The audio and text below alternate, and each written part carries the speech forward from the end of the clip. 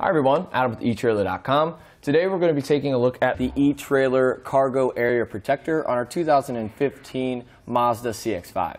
If you carry a picture of your dog on your dashboard, you probably also allow them to sit in the front with you. But when they're really dirty, you need a little bit of extra protection, especially if they're really wet.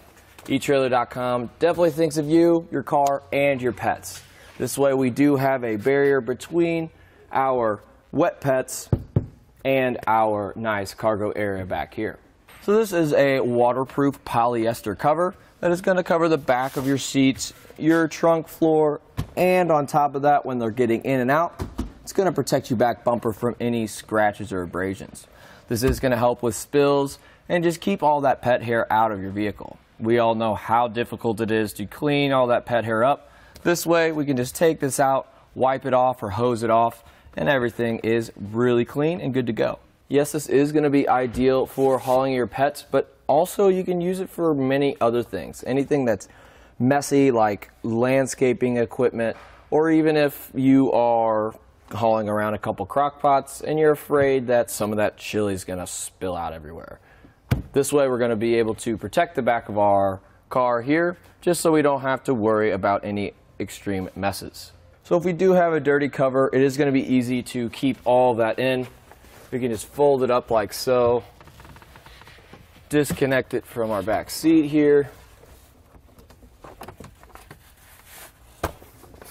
Fold it up.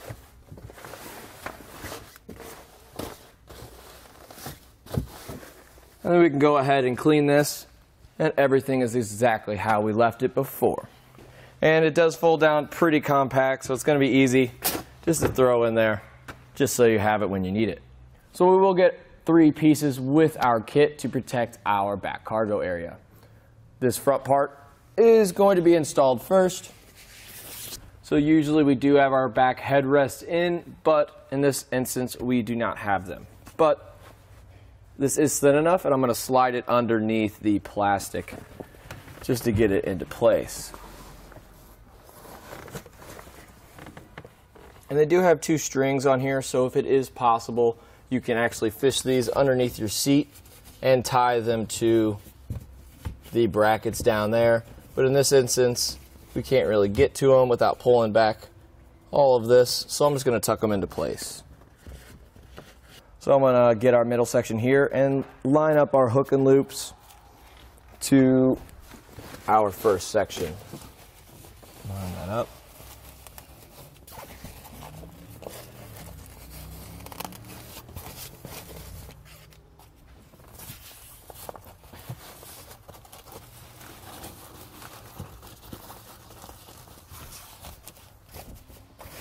So as you can see, this middle section here does cover the whole entire floor of the back area.